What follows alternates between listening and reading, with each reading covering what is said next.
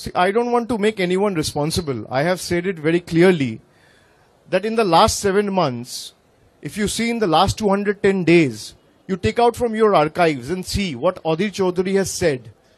And he is not just any other Congress leader, he is the PCC president. Also the leader of the Congress party in the Lok Sabha. So he is challenging the Chief Minister of Bengal, the chairperson of All India Trinamool Congress, who Congress is claiming as one of their most important ally. The PCC of Congress is say, saying and challenging Mamata Bandyopadhyay to come and contest against him. The PCC of Congress in West Bengal is demanding a president's rule in West Bengal. These are not statements of BJP state president. These are not statements of BJP ministers. These are statements of the PCC chief and the Lok Sabha leader of the Congress.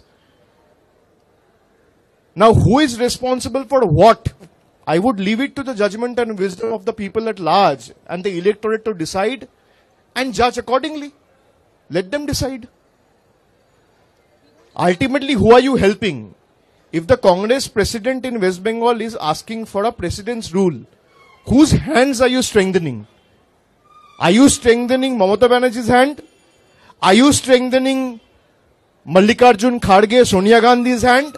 Or are you strengthening BJP and Narendra Modi's hand? Who are you vouching for? Who is BJP's Trojan horse? Who is BJP's B team? Let the people of Bengal decide in the upcoming polls. They have seen everything.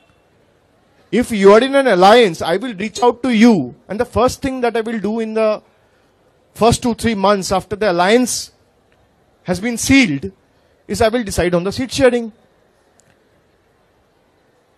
We have been repeatedly asking them to talk on seat sharing from the month of June. It's been seven months. Nothing has happened.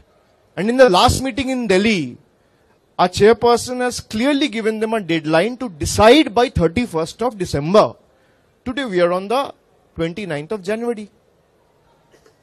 So what do you expect? If elections are to be announced in the month of March, and I'm still kind of, it's still wavering in my mind which seat I should contest from, and which seat will my alliance partner contest from, then what can I say? It's unfortunate.